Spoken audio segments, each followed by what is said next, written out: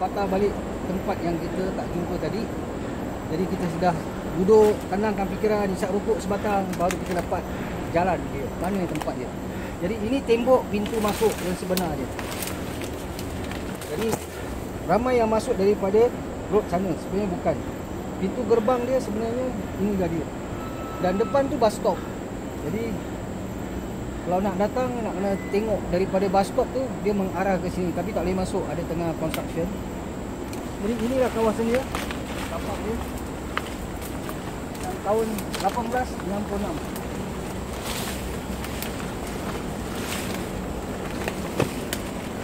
Ni tembok dia dah pecah. Ni pintu gate dia ni dia. Sini. Sini dengan sini. Ini pintu gate dia. Jadi kalau masuk daripada depan sana main road daripada bus stop kalau tembus sini kita akan jumpa di tempat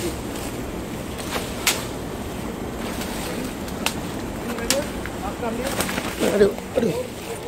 Ah, Okey, ini tempat dia belum sampai lagi. Kita punya Encik Arun dah jatuh terduduk eh. Tapi okey, ini biasa. Getting old. Okay. Jadi ini semua usaha Arun yang nak bikin research tempat ni. Dah hampir 20 tahun. Jadi dia telefon saya nak bikin balik tempat sejarah ni.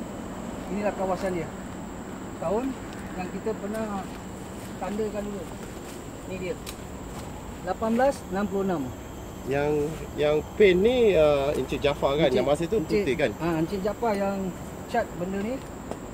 Dan seperti Pak Daing, Rosli Jaru, Harun dan diri saya sendiri dan beberapa kawan lagi datang bersihkan kawasan ni semua. Hampir 20 tahun bila kita jenguk balik sama juga keadaan ni macam ini, semak samun. Kita pun tak tahu siapa yang bertanggungjawab tempat ni ataupun yang punya tapak tanah ni. Jadi kita just nak bikin dokumentari saja untuk bikin research kita. Jadi kita datang balik tempat ni. Tadi kita pusing satu orang tak jumpa eh. Ini baru kita dapat balik. Ini tempat dia sebenarnya. Dulu tiga hari. Kalau ambil video tengok semua pusing keliling eh. Semak samun sini. Pokok besar-besar tumbang jadi tak terurus.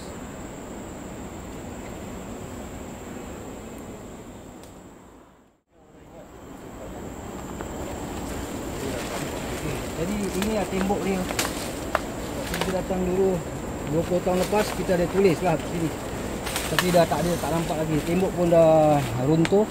Dalam uh, dalam footage tu, gambar putih tu kita ada nampakkan warna cat putih.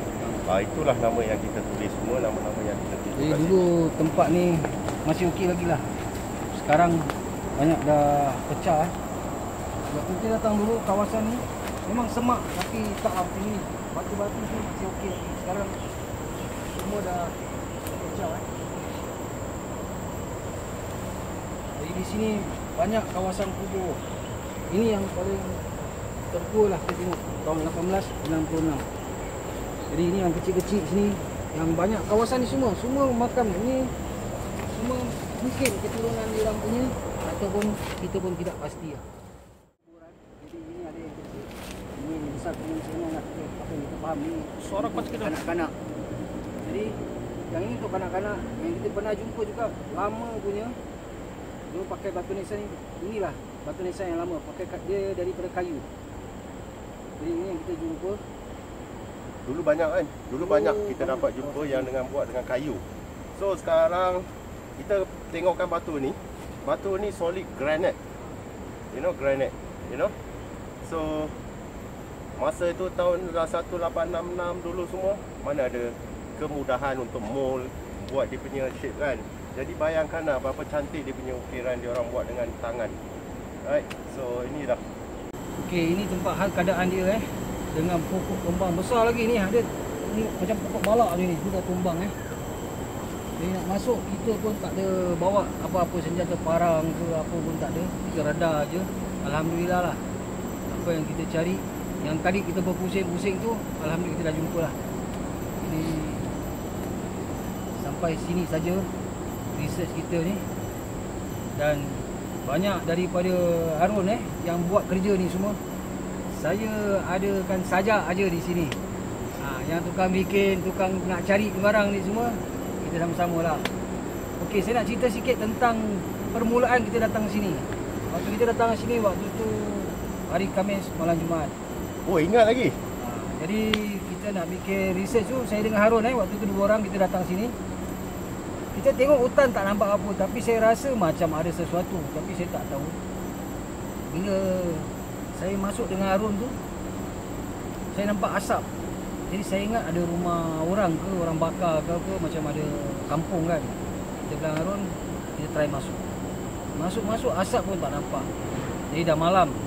Kita pun tak bawa perkakas, tak bawa apa, kita balik. Minggu depan saya dengan Harun juga datang. Kita masuk lagi sekali. Barulah kita jumpa kubur tu tahun 1866. Jadi dengan ikhlas hati eh kita just buat ni benda tak ada apa-apa. Just nak ambil tahu tentang sejarah Singapura ni. Di sini makam lama-lama banyak ada. Banyak lagi lah kita belum bikin research lagi. Tapi saya pun dah nak retire. Jadi Harun akan teruskan semua perjuangan ni lah. InsyaAllah.